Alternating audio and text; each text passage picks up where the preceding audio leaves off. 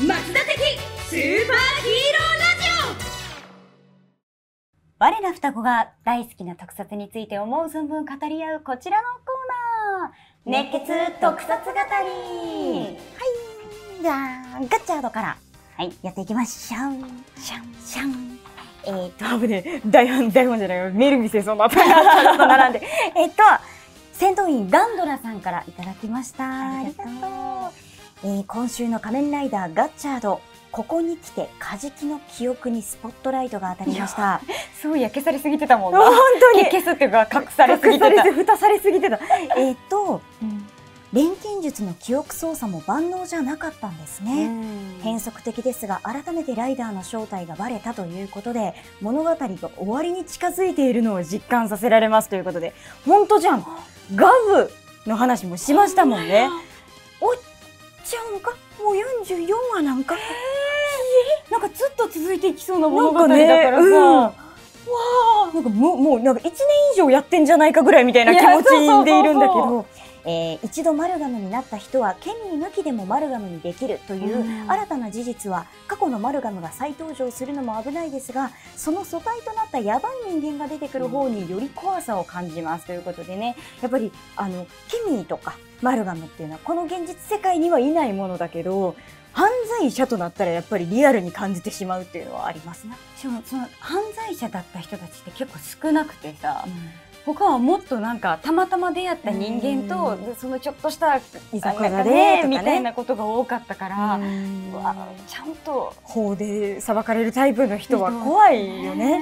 うん。いやでも思えばカジキってほんま事故みたいにさギャグみたいにさ あの見ちゃっては気絶して 記憶に蓋されてたのがこの形で回収されに来ると思わなくて。そうだったね。びっくりしちゃった。ああれ？なんか負荷かかってたの？みたいな。ごめんねなのに今回の30分の中でもさ一、回なんかすごい容易にさ 消されて。こここのこのバッタはみたいな感じになってさ、うん。かわいそうすぎる、本当になんか運がいいんだよね本当はね。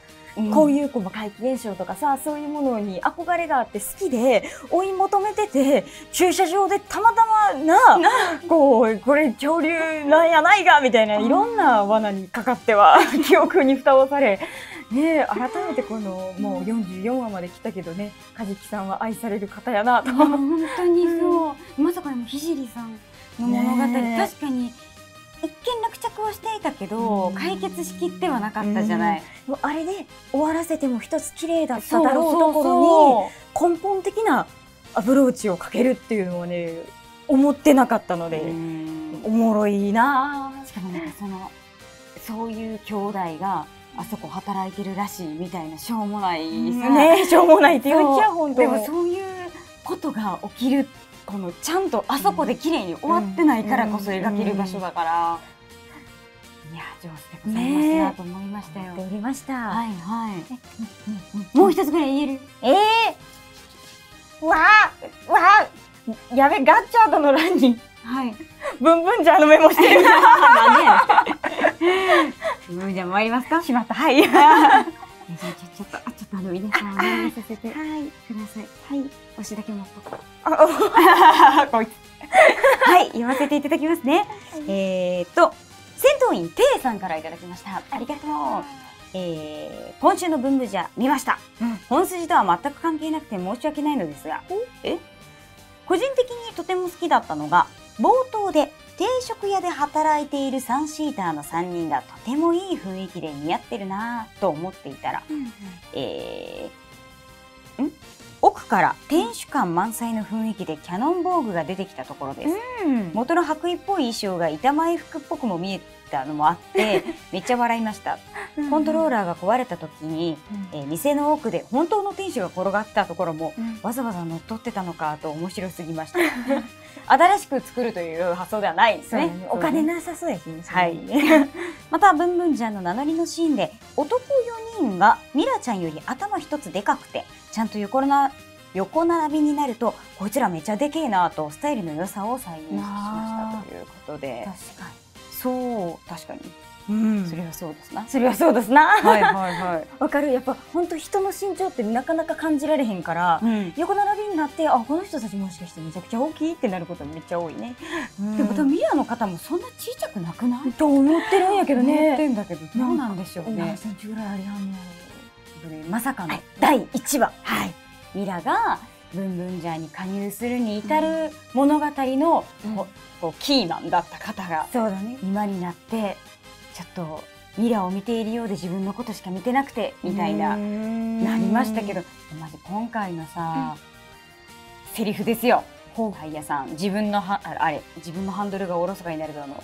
出た。他人のハンドルを握ろうとすると自分のハンドルがおろそかになりそうだったかな。無理やもんね。車運転するときにさそそうなのよ。うん。で本当に他人のハンドルって握れないのよ。一緒に乗りながら一緒に乗りながらないしそれぞれ乗ってる車でもうちょいこっち行った方がいいんじゃないって言うことはできるけど、うん。自分が動かすことはできないっていうのを、うん。なんかあのタイヤが一番車にたなぞらえたあのワードチョイスが上手っていう。まあそうだね。のもあるし、うんそれをさぶつけられてた人じゃないですかさっきとは。そうだね。その成人君子みたいなこと言いやがってっていう。うんのを浴びてた後にそれがちゃんとあの他の人にあの 放たれてるのを見て出た出たってなってる感じとかも、なんか関係値ができてきたなって感じがした、そうだね。知らない人ではなくて、うん。こいつこういうこと言うんだよなっていう のが言われた経験がある人たちがねそうそうそうそういいなと思いましたけど、どうですかえ160センチもあるよミラさん。ミラさん。でいやでかくはないんやな、平均身長が158とかそんな感じだからね,、はあ。それで思うと本当に男性陣もいそう大きいんいやですよね。ね。いやいやいや大きいよ。サイトにねあの、はいはい。5人並んでる姿がありますけれども、ままま今回なんせ話したいのは、はい。お椀車。おアングルマはなんか好きって言ってたよね。非常に良くないですか、あのスタイルあのここにね、失礼はい。ここにその蓋こうわ碗の部分と蓋がババーって重ねて洗って置いといた時みたいにチャイチャイチャインってなってて、うんうんうん。その置き方大体やっぱここがシュッとしてると弱そうに見えるから太くするじゃん、うんどうやって太くしましょうねってなった時に蓋でこの幅出しましょうっていうのはちょっとデザインの勝利だなと思う。あー確かに。ワクワクしちゃう。しかも可動が効くしさ、うん。まあ、ここら辺だけど、その感じも込みでめっちゃ好きだった。デザインが。デザインが。あ一番好きかもマジで。車中の中で。ーあの全然別になんだろうな。中華っぽいわけじゃないんだけど、うん。そういう水系みたいな使えそうな見た目のデザイン私もともと好きなのね、だからちょっとこう和と中がうん。混じったような、はいはい。キリンみたいな、はいはいはい。一歩間違えればね。わかんない。一歩間違えることはないけど。あデザインがね生き物じゃない方ですそうそう生きて生きてないなっていうやや連呼こしくなっちゃった みたいなあの感じがすごいかっこいいなと思って見ておりましたけれども、好きだった、やっぱねうん。あの資産で殴ってくるのもそうだし今回のそのお椀のまあ、あああすごい私が言うと頭悪くなっちゃう。あの暑いから開かなくなるねっていう そう気気圧じゃないけどさ、はいはい。でこう救いたくても救えないみたいななんかこれめちゃめちゃ勉強になるなって。ほんまにあのガチャポンと一緒だよね。その横にギュッてやってさ途中こうね。そうそう空気入れてみたいな感じとかなんかこりゃ学びだ。多分知らん子もいると思うのよ。うん。だえご飯とかお味噌汁とかって開かへんことあんの？って思ってる人もいると思うから。旅館に行った時に初めてなるだろうね。うん。あるいはそういう定食屋さんとか。うんうん。マジで使えるからみんな、まあ、もうみんな知ってると思うけど。じゃあじゃあじゃあウルトラマークの話にも行きましょうかね。よいせよいせよいせよいせよいせじゃあアークは私が持っていきましょう、はいアークとアークの頭の中で混じるんだなあ、わかるとうんアースガランね。あすごいね、はいはい。あ、そうか、乗りついたわ。よいしょ。えっ、と、戦闘員、クラゲの骨さんからいただいております。えー、ウルトラマンアーク第2話。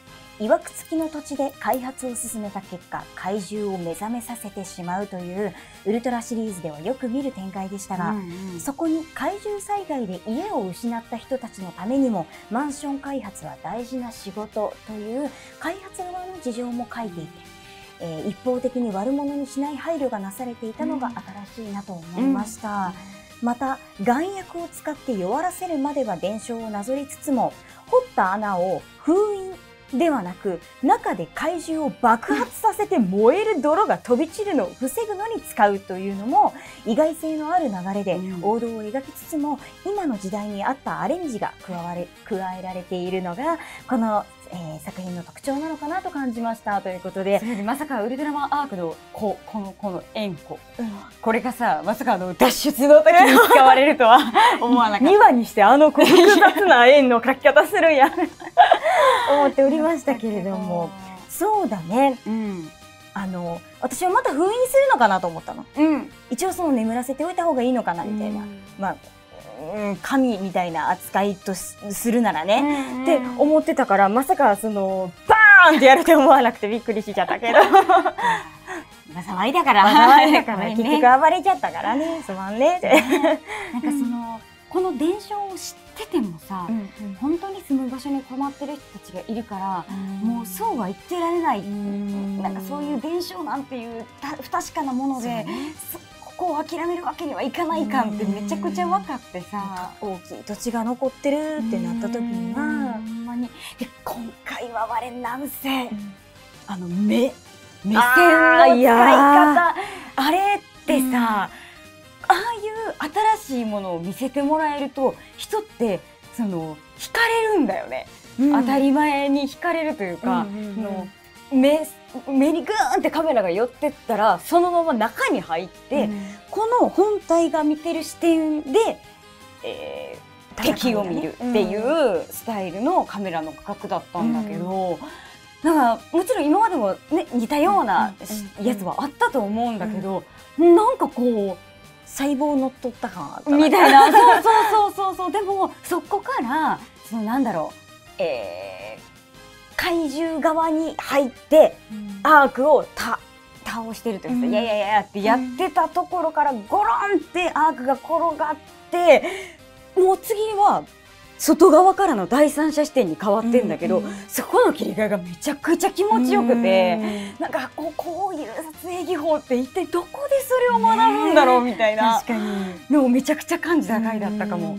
一番の時からねなんかこうこだわりいろんな新しいことをしようっていうのを感じてたんだけど、2話でも見せてくれるっていう、そうなるとやっぱまた毎週楽しみになるじゃそうないね。どんな戦いをしてくれるんだろうと、そうそういや改めてその我らはさ身長が大きくはないからさ、はい。あのウルトラマンを上から見る機会がないわけよ。はい。あのウルトラマンと比べて身長が高いっていうのが あのそもそも無理っていうのを置いといても その夏のフェスとかさうるさまとかさそういうのに行ったとて我らは見下げることはできへんやん。